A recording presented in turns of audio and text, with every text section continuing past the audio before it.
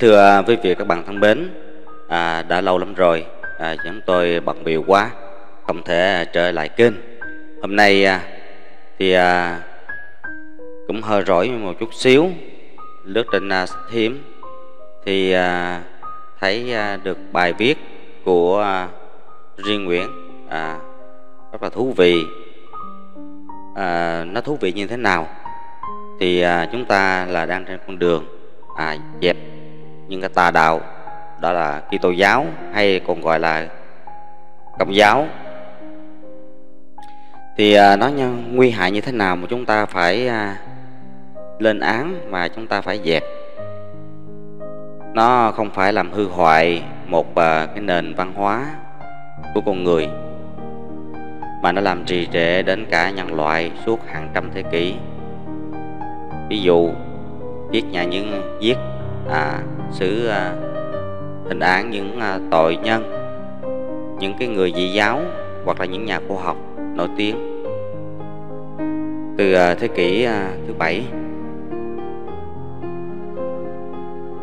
Và sau đây, mình xin làm một cái bài, nói một cái bài về mà riêng nguyện nói về cái đạo, cái tà đạo này, nó tàn ác như thế nào. Đến con người chúng ta, mong rằng là những người công giáo hãy thức tỉnh để sống với ờ, nhân loại có lý tưởng tốt đẹp hơn. Còn tà đạo này nó nguy hiểm lắm. Mong ờ, quý vị các bạn hãy sáng con mắt ra. Tại sao chúa cha jehovah của bạn quá ác độc như thế? Sự thật khốn nạn, mang rợ của tà giáo catholic, công giáo qua các câu kinh cần được phơi bày. Cần biết, không cụ ước làm gì có tân ước. Phạm trung kiên viết vâng kinh thánh có hai phần. Phần cũ ước và tân ước. Như bắc nam viết, phần tân ước là lời chúa được các thánh tông đồ ghi lại. Còn cũ ước có ghi lại một số sự kiện như chúa trao 10 điều răn cho ông môi xe tại núi sinai và một số mặt khải về chúa ba ngôi. Sự tạo dựng trời đất và việc cứu thế. Thiện nghĩ, người muốn đọc kinh thánh thì phải có lòng thật thà, khiêm tốn và ước ao muốn tìm hiểu về chúa. Nhờ tâm tình ấy mới có thể hiểu được và phân biệt đâu là lời chúa, đâu là lời sự kiện lịch sử được kể lại và đâu là thuật ngữ theo ý của tác giả riêng nguyệt đáp. Trong tân ước giêsu khẳng định tôn trọng và hoàn thành những điều cha Giêsu là Jehovah phản trong cựu ước qua hai câu kinh dưới đây. Một Matthew 5 chương thứ năm. Đức Giêsu kiện toàn luật Mô-xê. 17 Anh em đừng tưởng thầy đến để bãi bỏ luật Môi-se hoặc lời các ngôn sứ. Thầy đến không phải là để bãi bỏ, nhưng là để kiện toàn.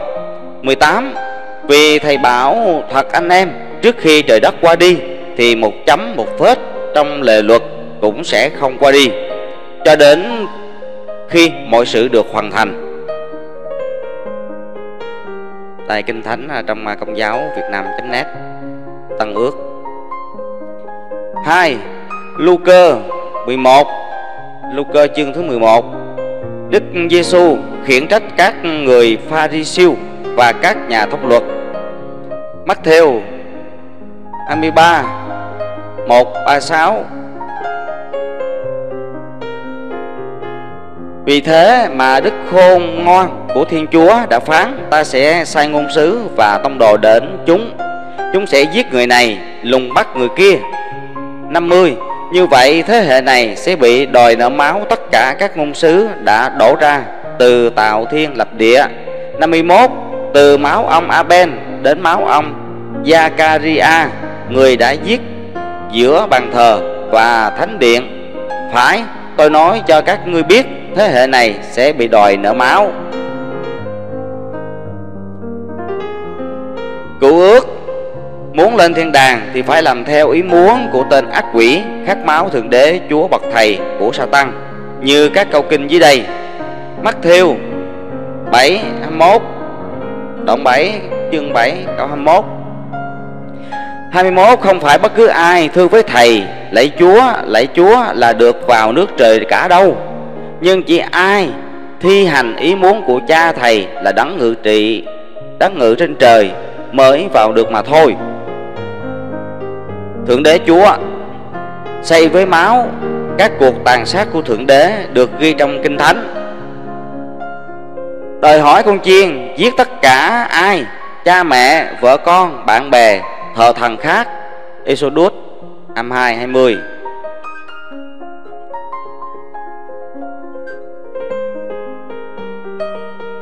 Đòi con chiên giết bạn bè, người thân nếu thờ thần khác. Đòi hỏi con chiên giết tất cả mọi người cùng phố Nếu họ không thờ Thiên Chúa.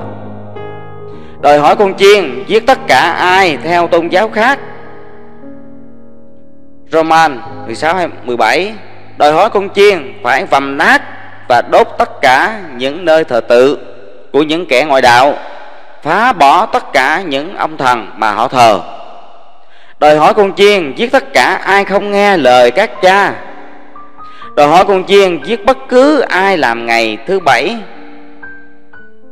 Thứ bảy ai? Exodus 35 câu 2 đòi hỏi con chiên giết tất cả ai không tôn thờ Chúa Giêsu Luca 19:27, Luca 19:27. Rude nhắc nhở rằng Thượng Đế sẽ hủy diệt bất cứ ai không tin Thượng Đế. Jude 5 Đức Chúa Trời ra lệnh cho môi xe giết mọi phụ nữ. Madi Madian Nite bắt gái trinh về hướng lạc. Riêng phần của Thượng Đế, Chúa là 32 cô gái trinh Để Thượng Đế, Chúa đêm 7 ngày 3 vào ra không kể. Này, giống Hoàng Kiều quá. Thượng đế, chúa chỉ trách, chỉ cách làm nghi lễ dùng nước thánh để phá thai. Number năm mười một, hai mốt. Thượng đế, Chúa trừng phạt phụ nữ bằng cách làm họ sảy thai. Nói khác đi, Thượng đế Chúa phá thai. Thượng đế Chúa trừng phạt phụ nữ Samaria Bằng cách mổ bụng mọi thai nhi. Hosea 13 16 Thượng đế Chúa cho phép những à, phụ nữ mang thai của Táp Út bị mổ bụng môi thai nhi. Thượng đế Chúa khát máu coi mạng sống của con người Nhất là trẻ thơ như cỏ rác, Giết mọi người. Samnon 15 3 New King James Vision Thượng đế Chúa tên ác tặc vô đạo khát máu coi mạng sống của con người nhất là trẻ thơ như cỏ rác mang rợ ra lệch đập đầu chúng vào đá tản cho nát óc chết thảm. Psalm 137 chương 137 câu 8 câu 9 Thượng đế Chúa, tên ác tặc, vô đạo khắc máu, coi một phụ nữ mang thai bị thương và phá thai, chỉ được bồi thường tài chính cho chồng của cô ấy, vì cho rằng bào thai là tài sản, không phải là con người. Thượng đế chúa trừng phạt bằng cách mổ bụng moi thai nhi. Thượng đế chúa nguyện rủa thai nhi nằm trong bụng mẹ trời ơi. Thượng đế chúa cổ vũ giết hại thai nhi nằm trong bụng mẹ. Thượng đế Chúa ác độc dâm loạn bắt 32 gái trinh về hướng lạc, Đêm 7 ngày 3 rào vào ra không kể, Number 31 New International Vision. Thượng đế Chúa mang rợ, hăm dọa, Hãy chứng kiến ngày Chúa đến, Độc ác, vì tức giận, Và hết sức phẫn nộ. Tất cả mọi người bắt gặp phải được đem tới. Con cái của họ bị xé ra từng mảnh trước mặt họ Và vợ của họ bị hãm hiếp.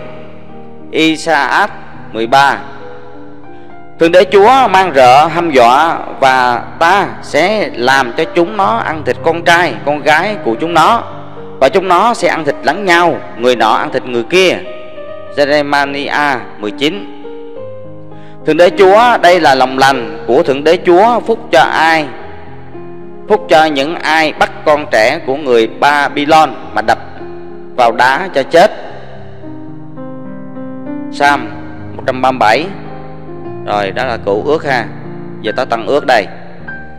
Giêsu không bày tỏ một mà tí mảy may quan tâm nào đối với những thai nhi đang nằm trong bụng mẹ cũng như mới sanh đương bú. Giêsu đòi nợ máu thế hệ này sẽ bị đòi nợ máu, Luca 11 Giêsu giết con bọn, giết con bọn thù địch của tôi kia. Những người không muốn tôi làm vua cai trị chúng, thì hãy dẫn chúng lại đây và giết chết trước mặt tôi, Luca 19 Giêsu Giêsu tuyên bố Giêsu làm cho cha mẹ, con cái, anh chị em họ hàng thân thuộc là kẻ thù, ghét bỏ, chống đối nhau mắc thiêu 10 Giêsu Giêsu tuyên bố ai theo Giêsu phải ghét bỏ cha mẹ anh chị em? Luca 14 Giêsu Giêsu tuyên bố Giêsu không mang tới trái đất hòa bình mà mang tới gươm giáo Matthew 10 Giêsu mất dạy vô đạo không nhận bà Maria là mẹ còn mất dạy gọi là bà Maria là bà kia mụ kia. Trong tất cả bốn phúc âm John, Matthew, Luca và Mark chúng ta không bao giờ thấy Giêsu gọi mẹ mình. Bà Maria với một tiếng ngọt ngào, yêu thương, kính trọng, mẹ. Từ mà Giêsu dùng mà để gọi mẹ mình là bà Maria và bà kia, mụ kia. Một cách lạnh lùng, sách mé, hỗn xược mất dạy, láo toét giống như những linh mục ngày nay. Đúng là đứa con bất hiếu ngay khi chỉ một đứa bé 12 tuổi Giêsu đã tỏ ra là một đứa trẻ hỗn hào mất dạy đầu đường xó chợ. Với cha mẹ, trừ phi Giêsu là một nghiệp chướng của một gia đình vô phúc. Thật là tội nghiệp cho bà Maria quá đi mắt 6 4 Mắc Thiêu 13 57 Luca 4 đoạn 4 câu 24 Gioan đoạn 4 câu 44 Mắt, đoạn 3 câu 21 Luca đoạn đoạn 2 câu 42 đến câu 50 và John đoạn 2 câu 1 đến câu 4 nói cái sách nói cái chứng tố đi. Cố gắng tố đây mấy linh mục mấy con chiên đầu não giống như sợi dừa. Đã chứng minh rằng cả Joseph và bà Maria đều biết nhất là bà Maria. Người biết rõ hơn ai hết là cha thực của Giêsu rằng Giêsu không phải là ân sủng đặc biệt của Thiên Chúa, không phải là con của Thánh của Chúa Thánh Thần, không phải là Chúa Cứu Thế của dân Do Thái. Cho nên mới không tin, không hiểu Giêsu nói gì khi Giêsu nói là đang lo việc của Cha hay giờ của chúng ta chưa đến. Giờ của ta chưa đến. Nghĩa là việc Chúa Cha, thần Jehovah của dân Do Thái, Luca Đoạn 2 câu 42 đến câu 50 John đoạn 2 câu 1 đến câu 11 John đoạn câu 10, đoạn 19 câu 25 đến câu 27 Thật tủi nhục cho bà Maria Vì còn sự mất dạy Khốn nạn nào hơn Khi Giêsu đứa con mang nặng để đau. Tí nữa thì bị trừng trị cho ném đá chết. Vì tội không chồng mà chữa Giêsu Nay không nhận mình là mẹ trước đám lâu la của Giêsu Mắt thiêu 12 Đoạn 12 Câu 46 cho đến 50 rồi riêng Nguyễn Tại sao Chúa Jehovah của bạn quá ác độc như thế? Mình xin làm à, bài này sau nha?